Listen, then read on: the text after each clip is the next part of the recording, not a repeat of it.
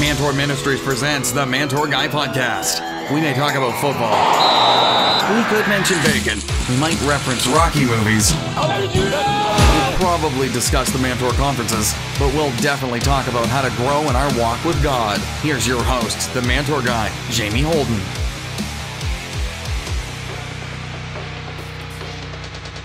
Hey guys, welcome back to the Mantour Guy podcast. Jamie Holden here, and we're so happy to have you join us once again this week.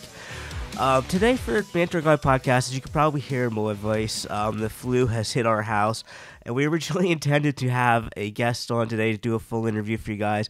And I apologize, unfortunately, we're not able to do that. I've just been too sick.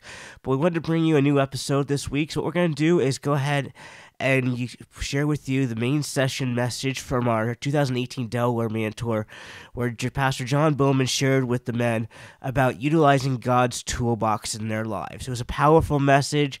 Uh, we want to give you a chance to hear it today. And we'll just go ahead and jump right into that message today. So enjoy today's word by Pastor John Bowman from the 2018 Delaware Mantour. But we have a common bond today, and his name is Jesus Christ. And what I want you to do today is just throughout this time, as you're getting, when you sit down with someone that yeah, you don't know, or, or, or uh, just, just say to each other, hey, buddy, Jesus is Lord. Don't say anything about their wife, okay? We don't want, we don't want, we don't, we don't want to get in the middle of that. Hey, I'm excited today. I'm excited to be with you all today and with the message that God has, has uh, really put on my heart. And uh, we hope that you have a pen because I believe that uh, you, you, need to, uh, you need to write things down. When you write things down, you see it, you're going to retain it. You should have a booklet. My, my assistant had, had made a book, and it's just right here. And you need to take this out, take your pen out, because we're going to go ahead and get started uh, pretty, pretty right away. Okay? The question is we're going to be talking today about God's toolbox. God's toolbox. I have up here is I have a nice old toolbox, and God's toolbox is the question I have is how many of us, my, here's my question for today, how many of us want to be instruments of righteousness? How many of us want to be instruments of righteousness? You can go to the next one where it says God's toolbox. Gearing up to communicate with God. Now, inside this toolbox that I have up here, there are tools. How many guys like tools? Yeah. I have a set of craftsman wrenches. I've been married for, it'll be 38 years this April.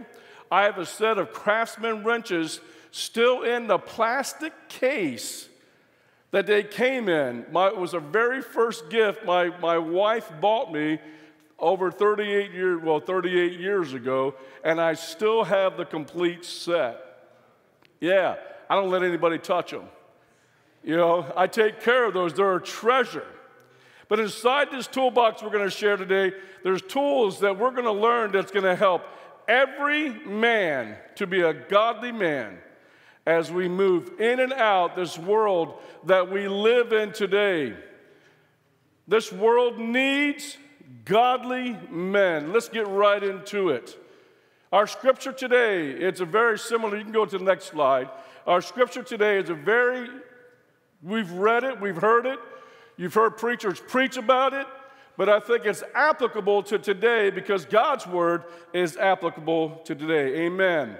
Finally, be strong in the Lord and in his mighty power.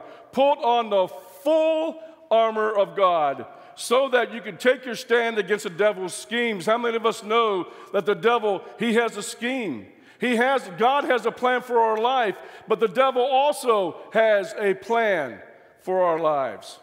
For our struggle is not against flesh and blood, but against the rulers, against the authorities, against the powers of this dark world, and against the spiritual forces of evil in the heavenly realms. Therefore, put on the full armor of God, so that when the day of evil comes, you may be able to stand your ground and after you've done everything to stand, stand firm then with the belt of truth buckled around your waist, with the bread of righteousness and the breastplate of righteousness in place, and with your feet fitted with the readiness that comes from the gospel of peace. In addition to all this, take up the shield of faith with which you can extinguish all the flaming arrows of the evil one. Take the helmet of salvation and the sword of the Spirit, which is the Word of God. Wow, that's a lot of stuff. But if we want to be a godly man in our world today, we need to take on, we need to take up and put on the full armor of God. The first tool that we have in, the, uh, in this toolbox, and you're going to see it, it's the belt of truth.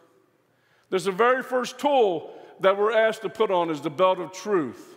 Godly men, godly men are called to put on the belt of truth. Now, there's a lot of, in our world today, there's a, seems to be definition as, well, what is truth? Uh, well, actually, that, that question was asked 2,000 years ago when Pilate was questioning Jesus. So, uh, what is truth? And the question still today, there seems to be a warped definition about what truth is. Truth today could be defined as it's what I believe in. Whatever we believe in, what I believe in, that makes it true because I believe in it. But we are called as godly men, we are called to put on the belt of truth. So the question is, how do we do this? First, by learning as much as we can about the truths that are right here, that are in God's Word.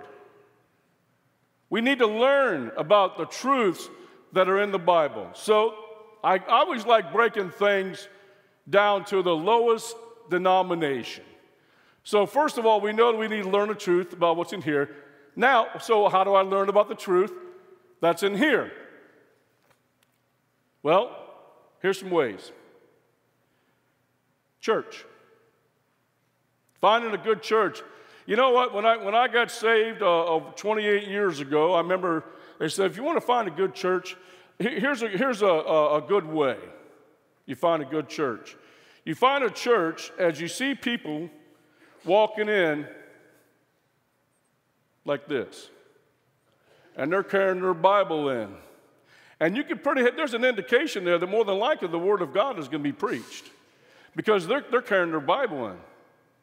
They're not going in empty handed, they're carrying their Bible in. So that's a good way of finding a good church. Find a church that preaches the Word of God, the whole Word of God, all of it.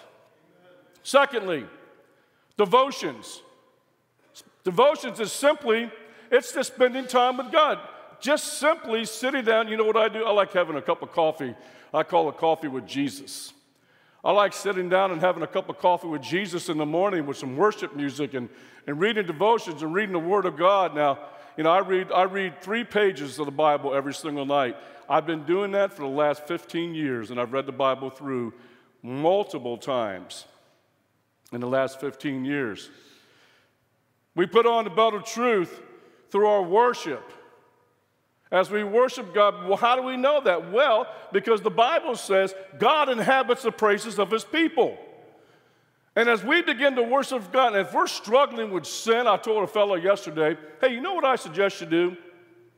I suggest when you get into your car, have, the, have that, that, that worship song and blast that thing because when you begin to worship the Lord, God says, Here I am, I'm here because God inhabits the praises of his people. And if God is there, the enemy can't be there because devil cannot hang around where there's God. He has to flee from this. Small groups with other men. Men Men need men. We really do. We need some godly men, some men that we're going to brush up against, and we're going to we're going to be able to lean. Moses, you know, had Aaron and Hur, you know, her as they lifted up his hand when he was weak, they held him up. And we need men that are going to do that when they see a brother that's walking out with his head hanging low, and we can go to him, we can encourage him, we can lift him up. We lift him up in prayer. We lift him up with encouraging words, not words of condemnation. But we need to have men who have this ability to go to a brother and say, hey, man, we need to have a chat. I remember reading uh, uh, about a story about a guy who was, who was mentoring a man, and, and this man was, was, was uh, going to be traveling out to Denver, and his old high school girlfriend was there, she says, Well, why don't we meet up? Why don't we meet up for lunch? Seems innocent, right? Well, when his buddy heard about it, his buddy said, No. He said, I want you to get on the phone right now, and I want you to call her and tell her you're not going to meet with her because it's not appropriate. It's wrong. And he said, After you make that phone call, I want you to get on the phone and I want you to tell your wife. Because if you don't, I'm gonna. so we need men like that. Here we go. Why? Because why, why do we put on the belt? Go to the next one. There's a saying, it says a spiritual leader is a godly leader. If, we're, if we want to be a spiritual leader in the home, we need to be a godly leader. A godly leader is a godly man. A godly man is a man devoted to God. Question My question is who are we devoted to? What are we devoted to? Hey, I'm an Eagle fan whether you like it or not. That doesn't mean I'm devoted. They're not number one on my list. You know what? I really like Carson Wentz because I noticed something. I noticed something that he did. He had a tweet. He tweeted out happy birthday to his, to his five year old lab, uh, lab retriever because Carson likes to hunt. And, and he got flack for that from people in the community. How dare, because there was, there was geese that were laying in front of this dog and they, they, they blasted him because of that picture, because he showed dead animals. Carson came out and said this. He said, There are two things that I'm very passionate about. Number one is my faith and my relationship with Jesus Christ, my Lord and Savior, and hunting. If you talk to me, I'm going to talk about those two things. You know what I noticed? He didn't say anything about football. And he, he, he, he was on his way to be the MVP this year, which I personally think he should still be. But phenomenal quarterback, phenomenal guy. Didn't say a word about football. Why? Because he knew what he was, who he was devoted to.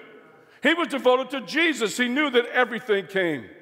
The second way of putting on the belt of truth is to always be truthful in everything you do. Be a man of your word.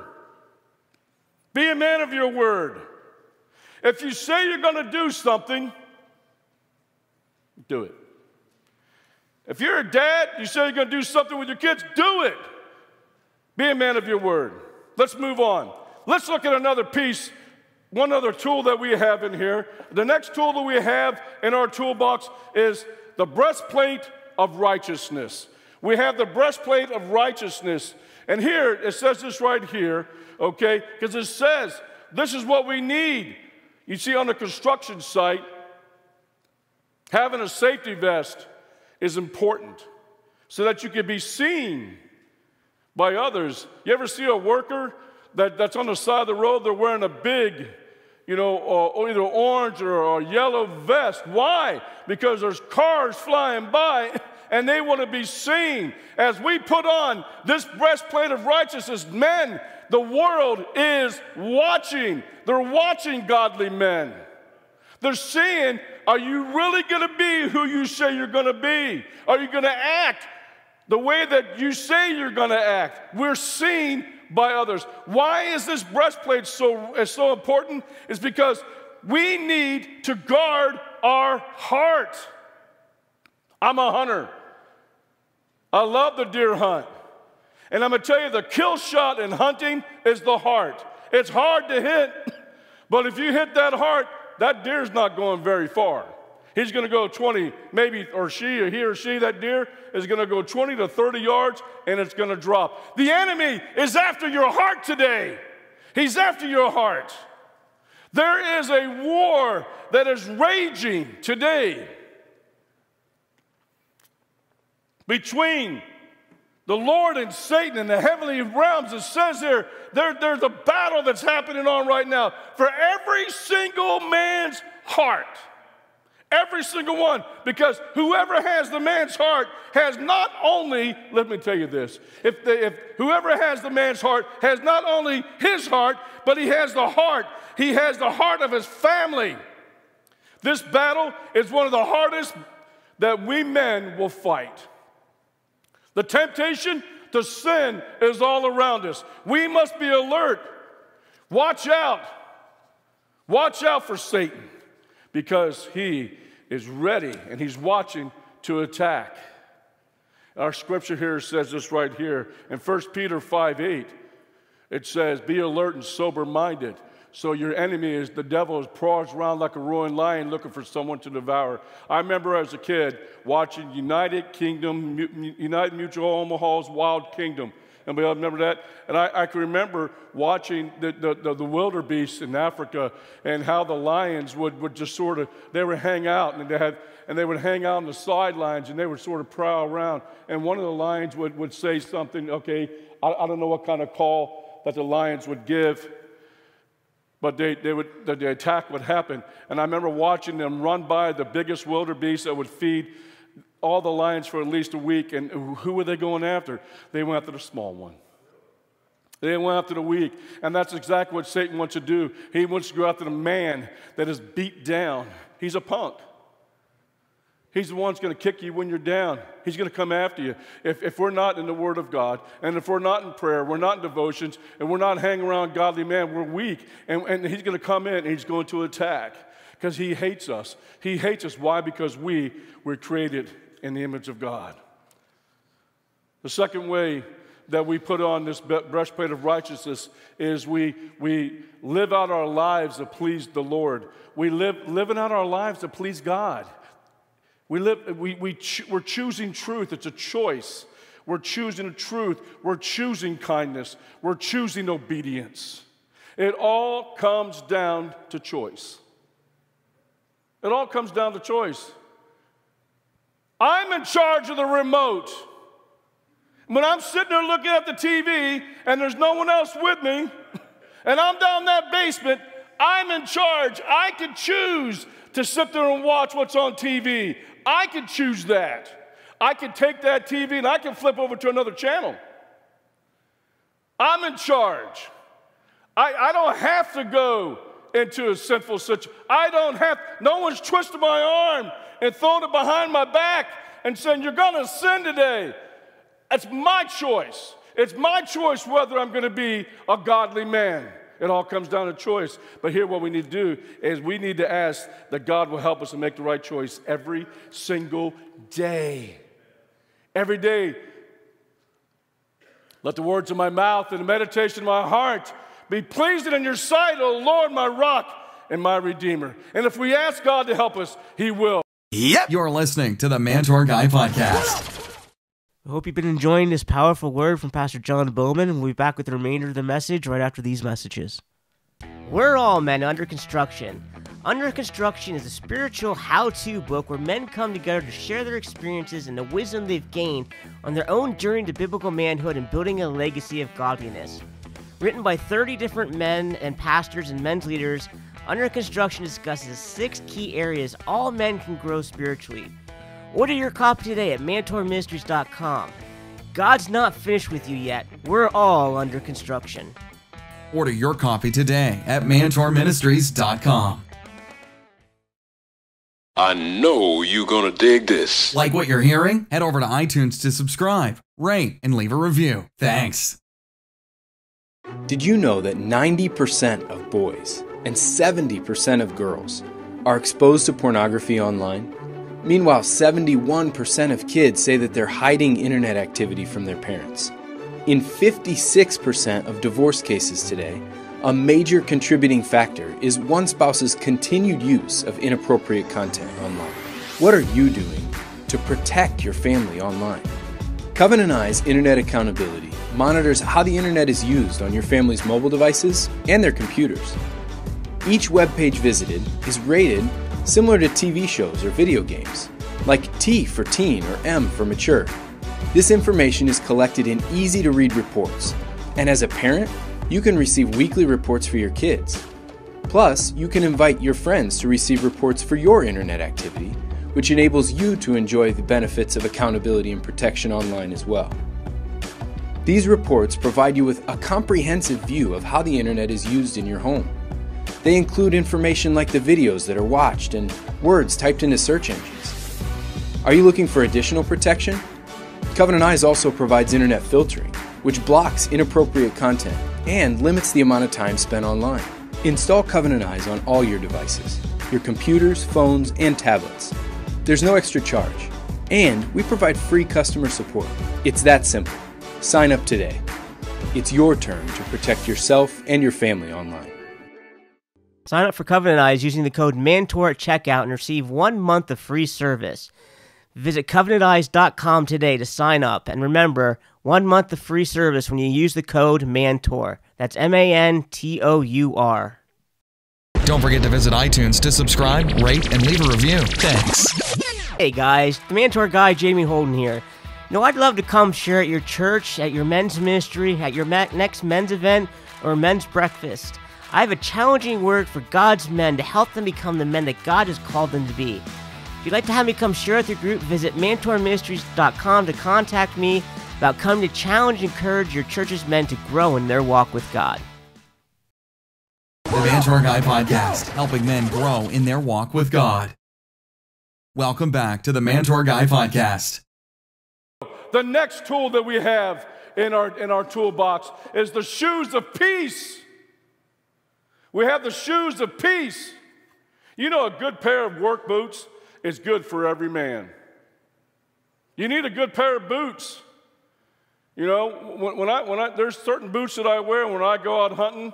There's boots that I'll wear in in the, in the, in the springtime. When I go out turkey hunting, I'm going to wear a lighter pair of boots. And when I go out in the fall for deer hunting, I'm going to wear a lighter pair of boots. But I'm going to tell you what, when I go out and it gets colder, I'm going to be wearing more and more. I'm going to get some that has the 1800, you know, and my toes are going to be nice and toasty.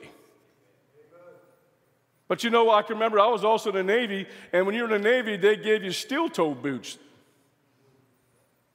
Because, you know, if something could fall on your foot and it could crush your toes, boots protect workers' feet against the elements and against heavy objects. They also give traction. We have traction. Traction is important.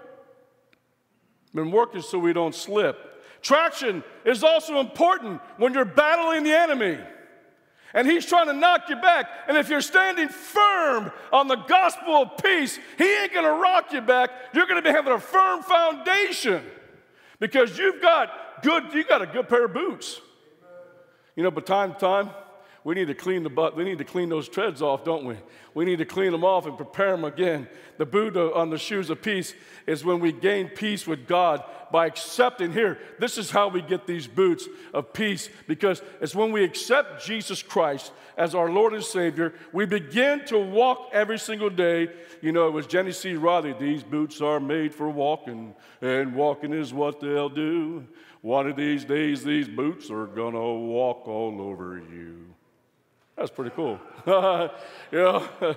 And as we begin to walk each day, we could show, we could show the good news of God's peace by how we live our lives. You'll have guys come and say, Hey, you know, I noticed, I noticed something different about you. What is it? I like those questions. What is it? There's something different about you. You don't act like anybody else in the workplace.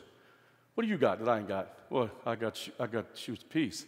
I got peace that comes through Jesus Christ. Wasn't that great? How God can actually send people like that to you? So we have these shoes of peace. We can have God's peace.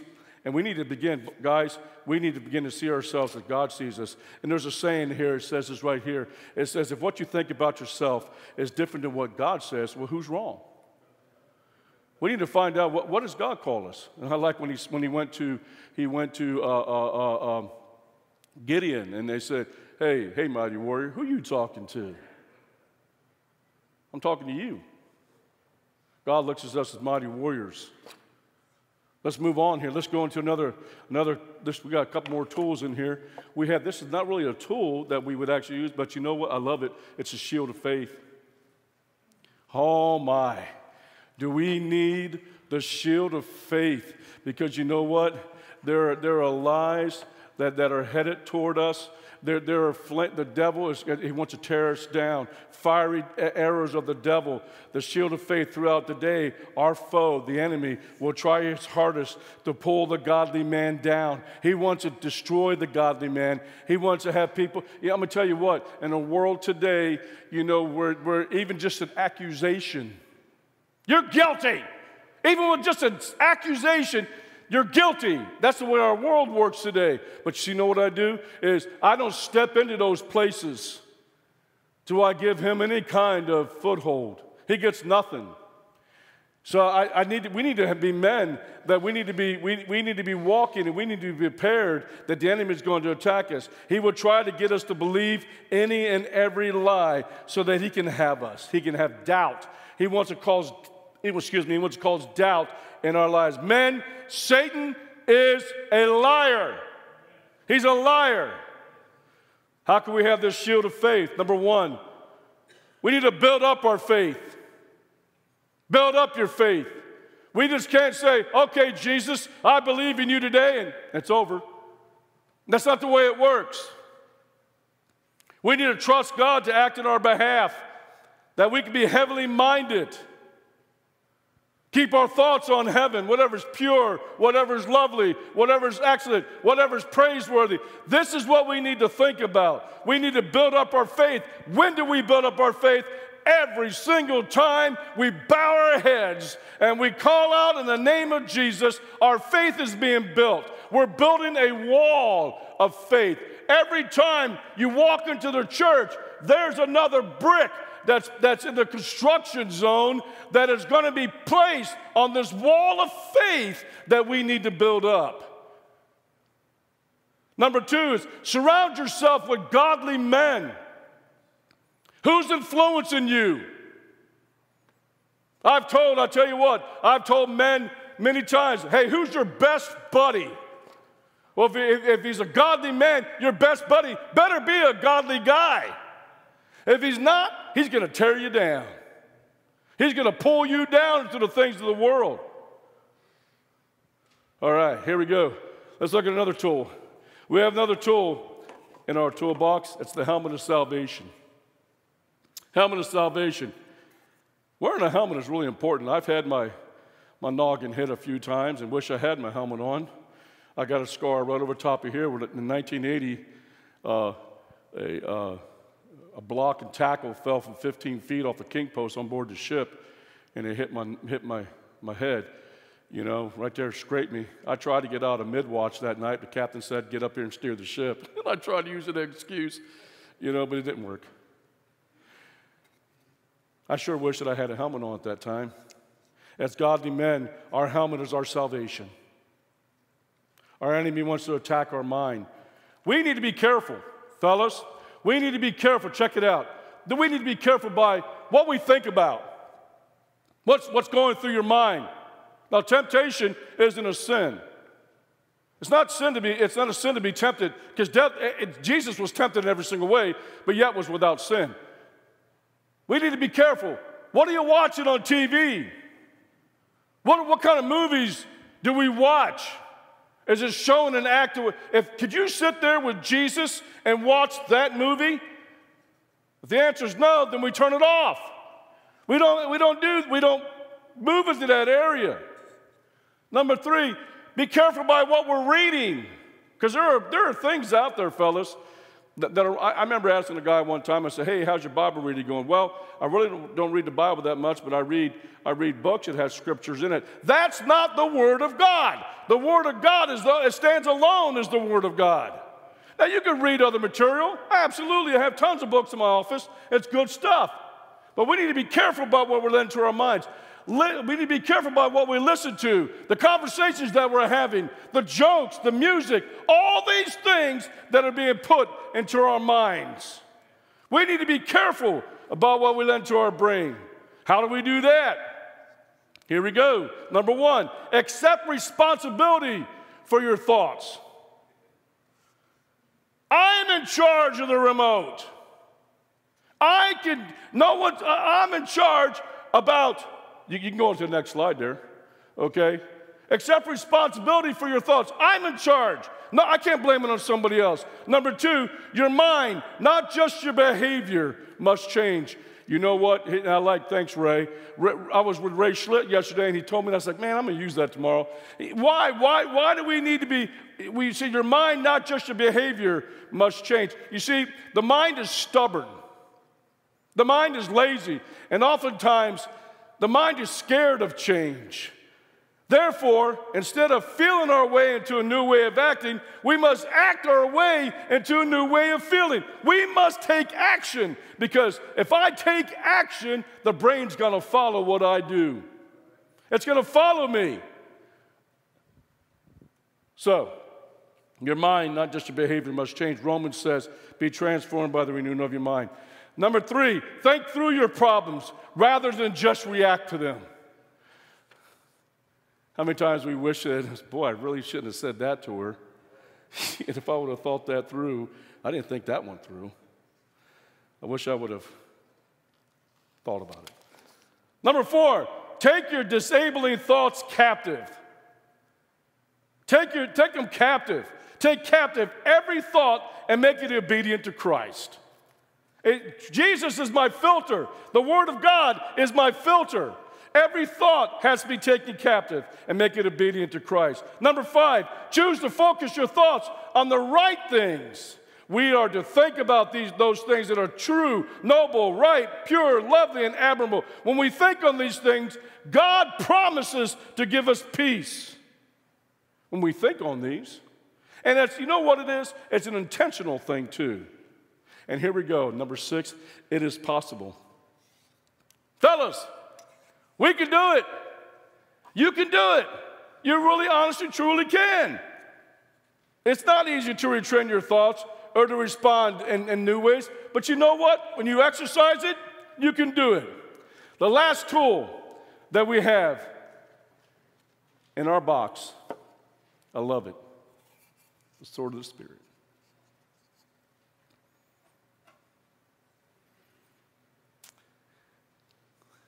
This is our sword.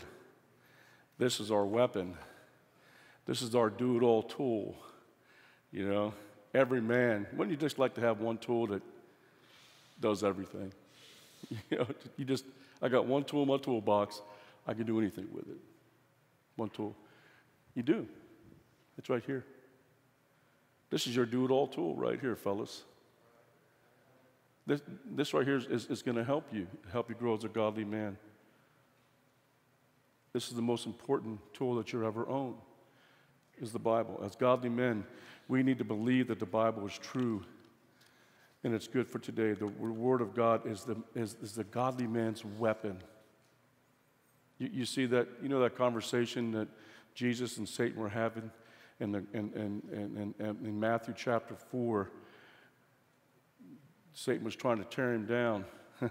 I like what one preacher said, put that up there. He said, Every time Satan opened his mouth, Jesus shoved scripture down his throat. yeah. But you got to be careful. Satan knows scripture too. Not only do we read the word, we study the word. We need to be men of the word. That's what we need to be. This right here is our, is our weapon. This is our do it all tool, fellas and it goes everywhere. I carry one in my Bible. I mean, I'm carry, I carry one in my Bible in my car. When I'm in my car and I'm stuck in a traffic jam, I'll whip that Bible out and I, am I'm, I'm going to read it. I'm just going to, I'm going to read. I'm going to, why? Because I'm putting these thoughts in my head. The only thing that's going to change our behavior, change us to be a godly man, is the Word of God. We need to trans- be transformed by the renewing of your mind. One final note about, about the armor. There's one final note about the armor. Is this armor is, is you know, Paul was writing, and he was talking about, he was using the Roman soldier as, he was using that description. The Roman soldiers were very, they were feared. They were the fiercest army because they kept coming at you. Everybody was afraid of the Roman army. They kept coming at you, it kept coming at you, it kept coming at you. Why? because I don't know what general it was. There was some general said, Hey, I got a great idea. Why don't we make the armor one sided? So our guys won't turn around and run out of fear because they know that if they turn, they're open for an attack. We need to keep going. We need to keep going. Keep going. We may be rocked back, but we need to keep going and keep going. We may be rocked back a little bit, but we need to keep going. If the problem is, is when we turn, we turn away from the things of God. We're open. Can you stand to your feet? Stand to your feet, please. I don't, I don't, I don't know, guys. I don't know your heart today. I don't know where you're at with the Lord. You know? God does. He knows your heart today, fellas. We want to turn this, this room here just for the next few minutes. We want to turn this into what Jesus wanted it to be a house of prayer. It's not a marketplace, it's God's house. It's the house of prayer. It's a place to where we can come. This altar area is open. I don't know where you're struggling, but God does. He knows today. And you know what the best part is? He's here and He wants to heal it. He wants to open it up. He wants to open up. He wants to pull that out of you. He's the great surgeon. He wants to open you up today, and He says, I'm going to put my hands on you. Are you struggling today with your walk? Right here. Come now. Move now. You're struggling today in your walk with the Lord? Move out. Are you struggling with being, uh, uh, and you're surrounded and, the, and you're being torn up by the enemy and you don't know where to turn? It's like you're being beaten up, you're being attacked. Come, come before him. Come before the general. Come before the captain of the host. Come before him today. Lay it open, lay it bare. There's no condemnation here. Oh, I like it. When Paul said, I know the good that I should do, I know what I should do. And this speaks to me. I know the good that I should do, but I, I struggle with doing that. And I wind up doing the very thing that I know I shouldn't do. How many of us have ever felt that way? I know the good I should do, but I wind up doing the very thing that I know I shouldn't do. He says, Who's going to save me from this? His name is Jesus. And listen, today, you, if you don't know Jesus Christ as your Savior, fellas, let me tell you, I'm a blunt guy. I'm, I'm blunt. I'm just, I'm just giving it to you. I'm just telling you. The only way that we're going to make it is Jesus. If you're here today, you don't know Jesus Christ as your Savior. Your friends who somebody brought you today, they invited you today. Why? Because we they want to spend eternity with you today. I want you, fellas, you know, I want everybody just to bow your heads with me. Because we we're not going to put anybody on the spot. I'm not asking to do that. But I want to know something today because God already knows the answer. Today, are you sitting here today and you don't know Jesus Christ as your Lord and Savior? Maybe you were baptized as a little baby and you think that that's all you need to do. Well, let me tell you something. The Bible says that Jesus Christ says, I am the way, I am the truth, I am the life. No one gets to the Father except through me. Today, you want to join this army? You want to put on this armor? Well, let me tell you, you need to enlist. you need to enlist into the army of God today. And the way that we enlist today, if you don't know Jesus Christ as your Lord and Savior, I want you to do a bold thing. We're men, we're, we're bold. We need to be bold today. I just want you to slip up your hand today. You've never invited Jesus Christ, He's not the Lord of your life. You have, you've not put Him the most important person in your life. Maybe you've backslid. He used to be up front, but now you've given Him, you push Him to the back, and there are things that are more important. Is that you today? Lift your hand up Move down here, come down to the front. We want to lay hands on you. We want to pray for you. You guys that, that, that pray for guys, we need help down here praying with guys. Stand in the gap. Do you know somebody who doesn't know Jesus Christ? Come here. Stand in the gap. Do you have a brother? Do you have a friend who doesn't know Jesus? Stand in the gap. God said, I looked for a man that would stand in the gap, and I found none. Let him not say that here today about this man here at this Mantour. He's gonna, he needs to find men that will stand in the gap. Do you know someone who's not saved? Do you know someone who's not saved? Come and stand in the gap for them. Stand in their place. Call upon heaven today. Ask the Holy Spirit to move on them. Stand in the gap today. Hallelujah. The Mantour Guy's final thought. It was such a powerful morning that morning in Delaware. The guys were all pumped up and excited about the Super Bowl the next day as their Eagles were getting ready to play. But even more than that, they were more focused on growing in their walk with God, becoming the men that God created them to be. And the men just really responded around the altar. We had two men accept Christ for the first time. Um, men were baptized in the Holy Spirit at this conference. It was just a really amazing day as the men came together to learn more about God and to grow in their walk with God. And one thing I really liked that Pastor John said in his message today was when he said, you know, every time the enemy comes at you, every time the enemy opens his mouth, shove the word of God back down his throat. And that's such a great quote, because the enemy, he comes to us all the time to attack us. And our number one weapon that we have to fight back against the enemy is God's word. So take that advice from John. And when the enemy starts throwing temptations and lies your way, shove the word of God back down his throat. However, in order to be able to do that, you have to know what God's word says, right? So I encourage you. That's one reason why it's so important for us as God's men to know what the Bible says, to read the word daily, to get it into our lives. So when the enemy comes at us and he throws his attacks, he throws his temptations, the word of God is already inside of us that we can shove it down his throat and we can fight back and we can gain the victory. So I encourage you, if you're not doing it already, make daily prayer and Bible reading a part of your life. Do like John said. He said he reads just three pages of the Bible every day. It's a great plan to do it. Um, another way to do is what I do is download the YouVersion Bible app and choose a through the Bible in a year plan. It's a great way to get the Bible into our lives so that the enemy does come and he does bring his attacks. We can shove the Word of God right back down his throat again.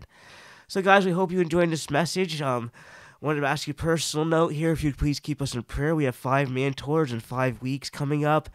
As you can hear in my throat, I am quite sick, so we need the Holy Spirit. We need God's healing power to help us and give us a physical strength. God is moving in the first two conferences, and we want to see that continue to happen. So I need God's physical strength as we move forward. But you know, I just want to encourage you, you know, wherever you are at today, no matter what you're doing, just keep moving forward with God. Keep going with your walk with God. And when the enemy attacks you, shove the word of God right back down his throat. So, guys, we'll see you next week on the Mantour Guy podcast. Thank you so much for joining us. Have a great week, guys. Thanks for listening to the Mantour Guy podcast. Be sure to visit mantourministries.com to learn more about our books, men's ministry resources, and our Mantour conferences.